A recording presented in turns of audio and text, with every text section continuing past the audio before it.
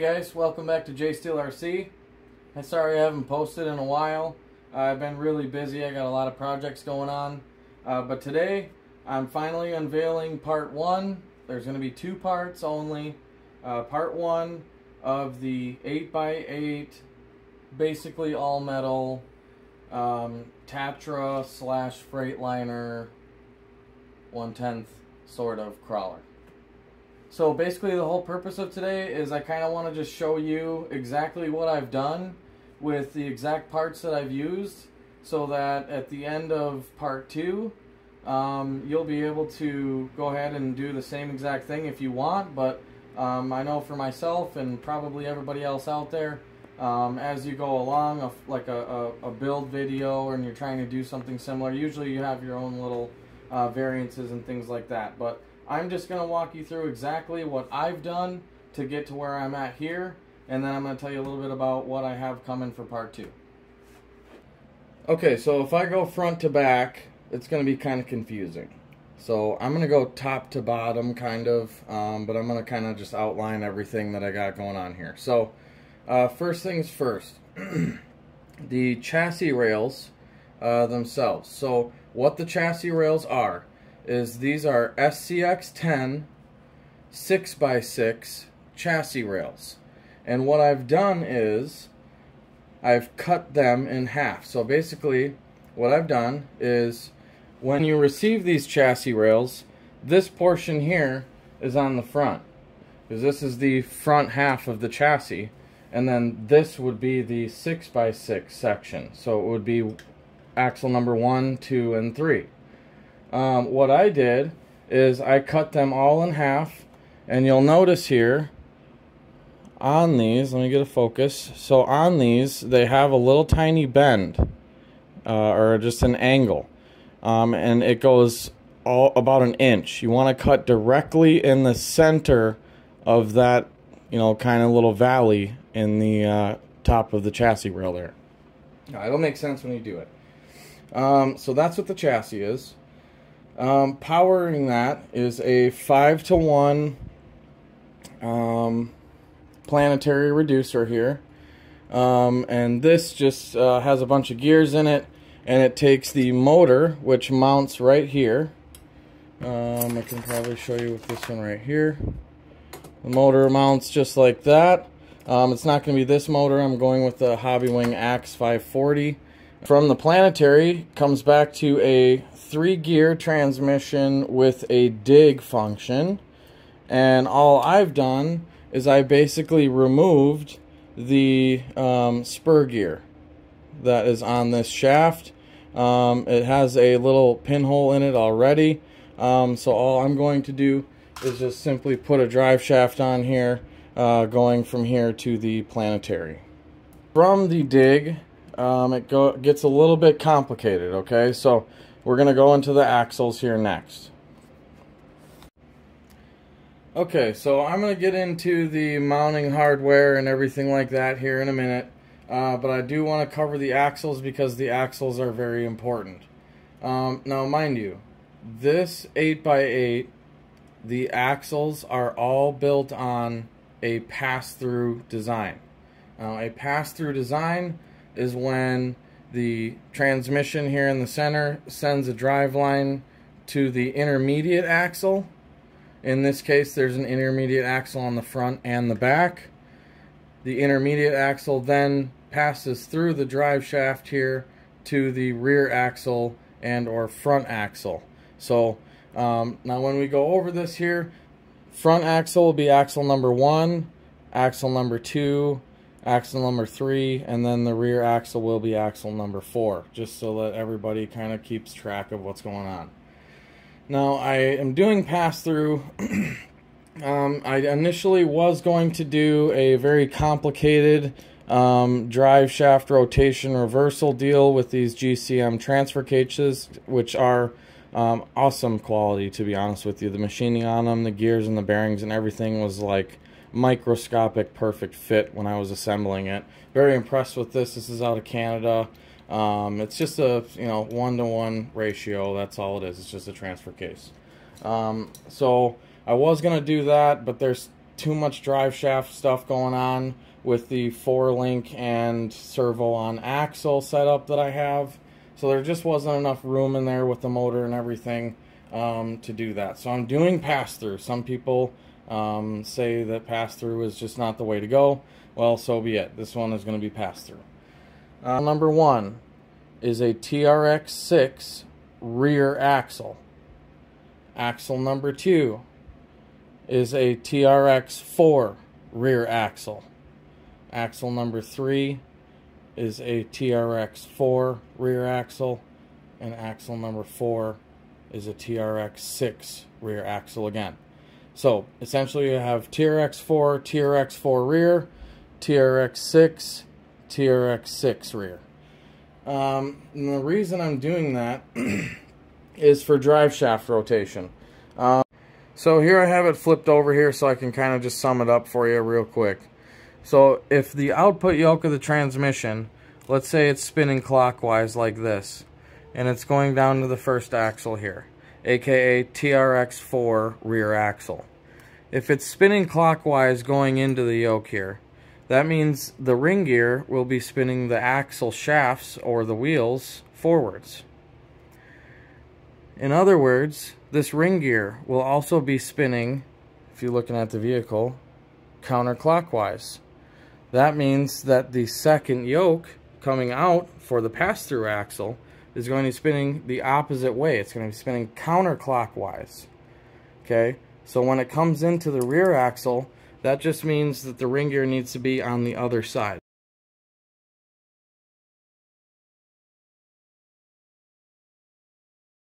Times two for the front, same thing for the front, except these are going to be steer axles.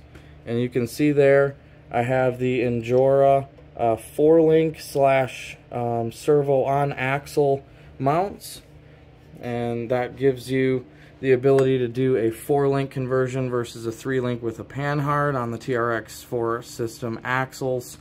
So I lifted it up a little bit taller here so you can kind of see better underneath it um, at the front axles here. So this is axle 1 and axle 2. Um, I just wanted to go over the steering on this. A lot of people are probably going to have some questions on that. Um, now, when you buy the um, drive shafts for the front axles uh, for a TRX4 or TRX6, um, those have basically CVD um, joints in them to allow the uh, front wheels to turn and the drive shafts to spin and power the portal boxes. Um, the issue is uh, drive shafts, uh, the lengths that you get for those are not the same as the length drive shafts you need for the rear axle housings, which is what I have on the front of this rig. So essentially what you got to do is you got to order a whole bunch of sets of the front ones. They're kind of cheap. They're not really too expensive. You need to order four sets essentially. And then you need to cut down to length the longer of the two and then square it off at the end just like it would be um, going from the spool to the portal. Um, so you kind of need to cut the length, the drive shafts that go inside the axle housings um, and you'll kind of see that in part two. That'll be the in the next video. Uh, but it is kind of a little bit kind of a pain in the butt. Um, mounting them up, these are Integy billet uh, 6x6 rear link mounts. Um, and again, just because it is the same, it's the rear half of a 6x6 and the rear half of a 6x6.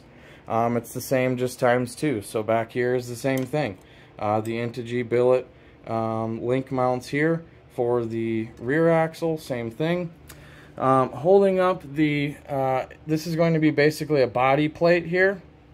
Um, holding it all up is these are axial Wraith um, shock mounts here. So these are one and this is two here you can see. I just have it standing up. Um, and I just have those kind of bolted in there. That's also going to be the shock mounts here. I'm still waiting to figure out exactly what length I need. Um, ordering some tires and everything like that. Um, and then up here, uh, this is not how it's going to be, but I just kind of have some shock keys here um, just to kind of hold it level and everything. I leveled it. So uh, I'm going to go with the Scalar Fab uh, front bumper. Uh, the one I'm actually going to get is for the Element Um, it's just going to work out best for this because I want the bumper to be straight off the chassis rails. These are an SCX 10 base chassis rails. Um, however, this is the front end, so um, I, I, want the element style. Um, if they don't exactly match up to the width, I'll just make it work. Um, and then I got a cross brace here, which is going to protect the motor. Inside here is going to be the ESC here in front of the motor. Um, back here will be a drive shaft coming from planetary to transmission.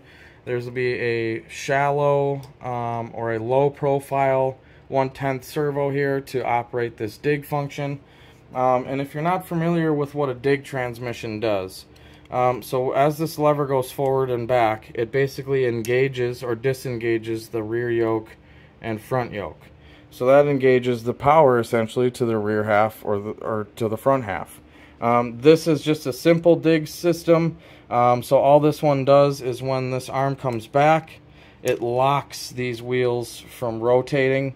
And then in the middle position, it's neutral. So the, on, the only wheels that have power will be the front wheels. The rear wheels will just be free spinning. And that's just going to help it um, with the turn radius because it is going to be quite a long system for 1 10th trails, which is what I plan to run it on. Um, so I just want to have the dig functionality. Um, this is just a kind of an eBay um, unit, you know, it's kind of a simple design. I do have some spares on hand, so if anything goes wrong, I can just cut that off and replace it. Not a big deal. Um, moving along, all of the four links are all pretty much different lengths. I, I, I, haven't taken exact measurements of all of the links yet. I'm sure you guys are going to want those. Um, but at the same time, I just ordered a whole bunch of, I think I ordered four packs of these links here from eBay. Um, that's all they are. Um, and I kind of just intermingled them. Some of them have um, angled ends, and that kind of helps out for the shorter links and things like that. So tying all this in are these, uh, these are ATC, or ATO PRC. Uh, these are SCX10, um, just cross braces here. Um, they're just to hold the chassis links together and everything.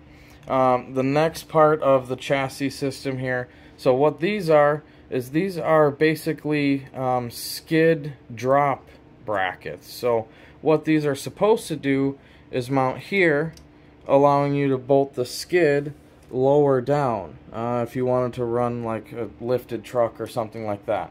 Uh, for my application, what I'm going to do is I'm going to, I have a new set of these because these are all drilled out. Um, but what I'm going to do is I'm just going to um, bore out the end holes here so they fit over the four screws here, the front and rear, and then put this over that right there, like that. And that will be the bed mount. Um, the bed, the rest of the bed is going to be mounted um, in here and here, and then between the rails here, right between axle number four and number three, is going to be the battery here. It'll be about a 52 milliamp, something in that range that'll fit in here. I'm just going to put an aluminum uh, piece of stock metal there is just to set it on. And then the bed will sit over top of that. Um, I am going to leave a little cutout so you can see the drive shaft coming from the planetary to the three gear. That'll be pretty cool to see that spinning as you're driving it. Um, one of the next things on the agenda is tires. I haven't exactly settled on a tire. Um, I'm kind of leaning more towards 2.2 scale size tires. Um, so they're about 4.85 outer diameter, but they are on a 2.2 rim. Um, it is a little bit tougher to find anti-foams for those um, that are of quality or that have good reviews or anything like that. Um, I am willing to try new products though, so I kind of am on the hunt right now for some 2.2 scale size um, anti-foams. Um, so right here you can tell, now it's actually kind of funny, uh, my Dynamite toolkit uh, bits here. It actually just so happens to be um, you can see the axle number 1 and 2 and then axle number 3 and 4 it just so happens to be right on par with my bit and then you can tell here axle number 1 and 2 is about the exact same um, it is not the same distance between axle 2 and 3 Um, and also another note is that axle number three is further back away from the skid than axle number one, or um, I'm sorry, axle number two is. Um, and then the skid itself here, I'll flip this over. So the skid itself here, uh, this is a hot racing bearing skid for the SCX 10 platforms. Um, these have bearings on them. Uh, this is going to be pretty heavy. Uh, I don't really want to get high centered. I want to try and avoid it as much as possible. So I don't know if the bearings are really going to do a whole lot. Um, they do help on my class 1 truck over here. Um, they do help on this quite a bit um, and helps prevent it from getting hung up. I know I have zip ties right there. That helps a lot. Um, but I've done. I've been doing a lot of work to this truck. I lowered the body. I took it out recently. Um, I am going to get a Scalar Fab Class 1 bumper set for this as well. Um, I'm going to be doing a good feature on this. I have anti-foams on the way. Um, I'm really excited to showcase this truck again. So another good video of this truck coming on the way here soon. As far as the body goes, um, I pretty much have these set up here. Uh, these are just a generic um, side skid plate here for uh, SCX10 or TRX4 chassis. Pretty basically any 110th crawler. Um, but I have it pretty much extended and everything. Uh, just perfect to mount up to uh, the Scale 3D RC. Um, it's the 82 um, Freightliner uh, cab over engine body. Um, it's going to work basically, I am hoping it fits pretty much right on top of this because um, I do want a roll bar to go over it because it will be 3D printed and this truck will probably get beat up. Uh, I'm not exactly sure what size exactly. Like I said, I kind of want to go with 2-2 scale size, 4.85, 4.9 maybe. I don't know if I can get away with it. Um, so I got to do some more measurements. Um, I got to build the axles out, which is freaking expensive. Um, but once I get that all done, then I'm going to focus more on the shock length, which is all going to depend on where the wheels sit on the axles and where the bed sits and everything. So I got a lot to do for part two, but I really was just super excited about unveiling this, and I just kind of want to show you guys. Um, and if I didn't cover anything, uh, please drop it in the comments. I'll make sure to bring it up again in part two if there's anything on this that I didn't exactly cover. Um, I'm hoping to have actual link lengths for people who want to do an exact replica build, if there is any.